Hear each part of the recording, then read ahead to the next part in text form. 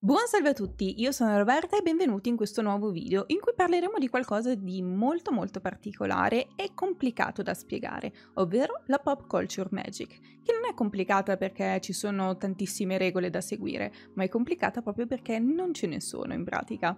Ma iniziamo dal principio, ovvero definendo cosa voglia dire questo termine. Pop culture magic è una terminologia molto nuova per andare a definire una pratica magica che si basa e affonda le proprie radici nella cultura popolare del momento. Quindi anche le streghe del 1500 praticavano pop culture magic, ma questa terminologia nello specifico viene utilizzata solo per il momento moderno. Quindi una strega del 1500 che utilizza i tarocchi non sarà una pop culture witch, bensì una persona che fa il proprio grimorio sul suo computer lo potrebbe essere. Quello che distingue una pop culture witch da una strega normale è il fatto che per loro il mondo materiale sia scollegato dalla loro pratica essenzialmente. Non nel senso che non esiste o non è importante a livello fisico, ma nel senso che concepiscono tutti come un sistema di energie da poter utilizzare in maniera volontaria e libera. Quindi per esempio il rosmarino non è una pianta di protezione e purificazione per le pop culture witch, bensì va a prendere ad assumere un significato in base al momento e ai sentimenti della persona. Quello che tu pensi quell'erba sia, allora in quel momento lo sarà.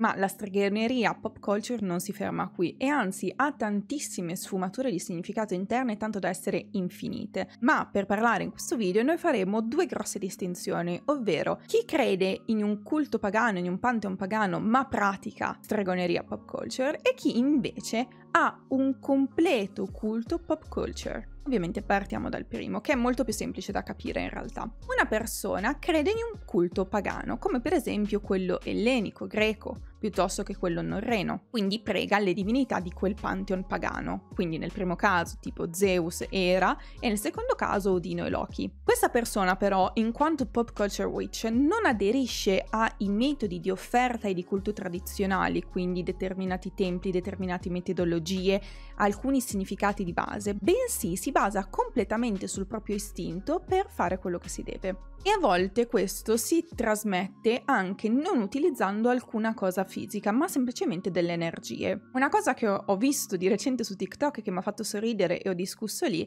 è il fatto che alcune persone facciano delle offerte alle proprie divinità pagane, però su Minecraft. Si creano un altare, mettono su degli oggetti virtuali su Minecraft, li offrono e poi così via. Costruiscono delle statue, le proprie divinità su Minecraft e per loro quello è il loro modo di rendere grazie alle divinità. Non fisicamente utilizzando delle erbe, dei sacrifici, quindi delle offerte fisiche, bensì virtuali. Secondo loro, infatti, essendo un computer e un programma solo parti di energia che funzionano, ha lo stesso valore di sacrificare delle erbe che contengono una certa energia. Per loro è più importante la volontà che plasma la materia, l'intenzione con cui tu fai un gesto e non il mezzo di per sé. In questo caso però la strega non può definirsi pagana perché sebbene creda in un pantheon pagano, in realtà il suo metodo di venerare queste divinità è neopagano, moderno, quindi è una forma di neopaganesimo, rivisitazione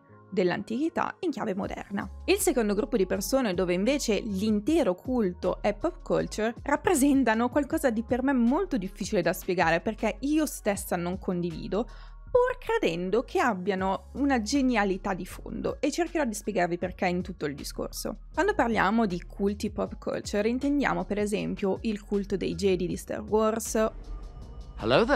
Oppure le persone che pregano i Pokémon piuttosto che le Winx. Per loro non sono solo frutti di fantasia, ma per loro sono vere e proprie divinità e c'è un metodo per pregarle e ottenere qualcosa da loro, per lavorare con queste divinità.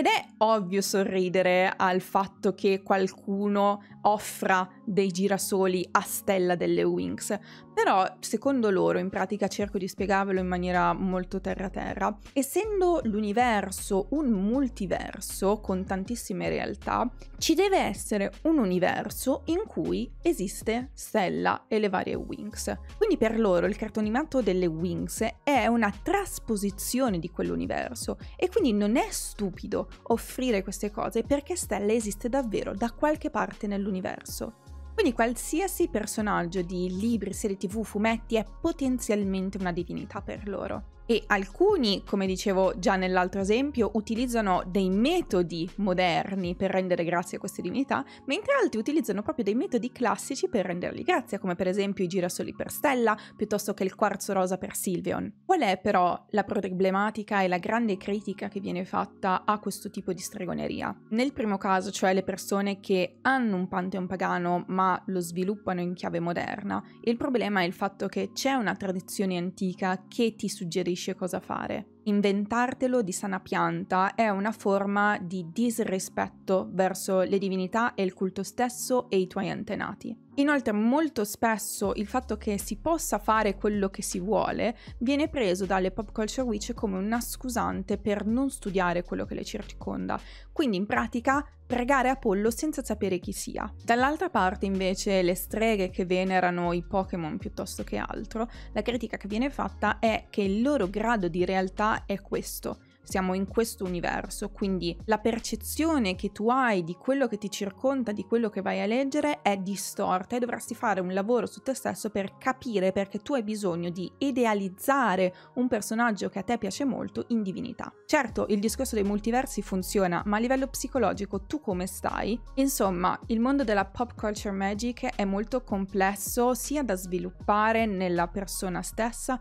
sia da capire. Per questo non c'è un modo giusto e sbagliato di intenderlo e le opinioni possono essere solo tali. Alla fin fine nessuno di noi ha la verità, quindi non si può dire che sbaglino, ma non si può dire nemmeno che stiano facendo la cosa giusta. Però siccome noi viviamo sui social e molto spesso queste cose saltano fuori, secondo me era giusto parlarne in un video per poter iniziare un dialogo su questa cosa. Quindi di certo questo non vuole essere un video guida come invece molti pensano su come fare pop culture magic, ma semplicemente un video che punta a farvi riflettere e a cercare di farvi dare delle risposte alle domande che voi stessi vi siete posti. Prossimamente parleremo probabilmente di fate e anche di magia del caos, se mi viene il tempo. Inoltre voglio avvisarvi che io sto per partire per la Sardegna, quindi nonostante gli esami io poi partirò subito lasciando dei video già preregistrati ovviamente per consumare contenuti sul canale.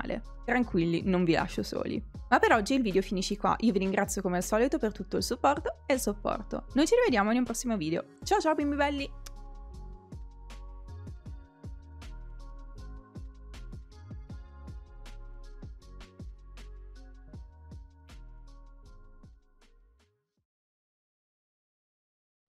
Gnafo!